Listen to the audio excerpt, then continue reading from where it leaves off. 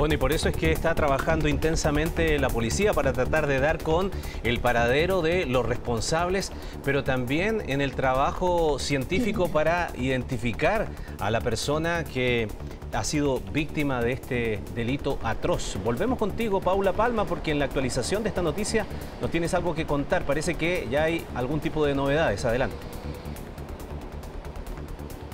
Sí, Ramón, eh, son diligencias que han, eh, se, han mantenido durante todo este domingo eh, con un foco en el último sitio del suceso, donde justamente se encontraron las piernas de esta persona, en calle San Francisco con Cóndor. Allí la OCAR ha realizado las últimas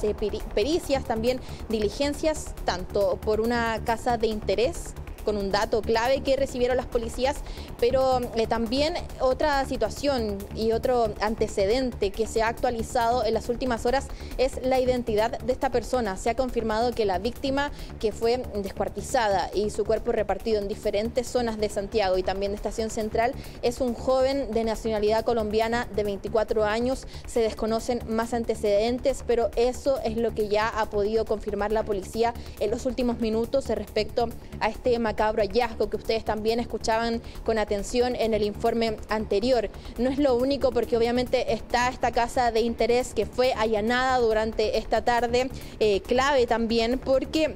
según lo que hemos podido recopilar respecto a este caso, eh, allí actuaría, y esto con datos que a lo mejor habría recibido la Fiscalía Centro Norte, actuaría una arista, una parte del tren de Aragua. Y por eso es que eh, se toma la decisión de allanar esta vivienda, realizar las respectivas pericias con la OCAR para ver qué elementos se podrían encontrar y qué relación tendrían con este caso de, de esta persona que fue descuartizada y que su cuerpo fue encontrado en diferentes zonas de la región metropolitana durante este domingo. Tenemos justamente una declaración de la policía donde confirma eh, la identidad de esta persona, eh, que, es justamente un ciudadano colombiano. Pasemos a escuchar justamente el balance que realiza el vocero de la OCAR respecto a este caso que justamente generó mucha conmoción en toda la ciudadanía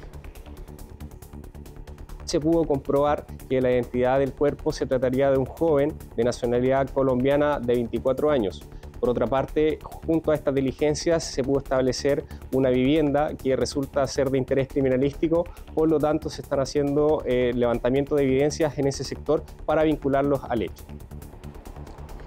es clave justamente lo que pueda ocurrir, los nuevos antecedentes que pudiese recibir tanto la Fiscalía Centro Norte como eh, Carabineros respecto a este caso. Lo decíamos, se está investigando alguna vinculación que podría tener el tren de Aragua y que se podría tratar a lo mejor de que esta persona, esta víctima, habría tenido rencillas con estas eh, mega bandas criminales que están operando y se ha confirmado eh, que operan justamente en el país. No hay personas detenidas pese a la amplia evidencia audiovisual, los registros de cámaras de seguridad, que eso también ha sido clave, pero todavía no se confirma que hayan personas detenidas respecto a este caso de esta persona descuartizada. Así que estamos muy pendientes de los nuevos antecedentes que pueda entregar la OCAR y también el Ministerio Público respecto a este caso, que obviamente ha generado mucha preocupación tanto en la región metropolitana como a nivel nacional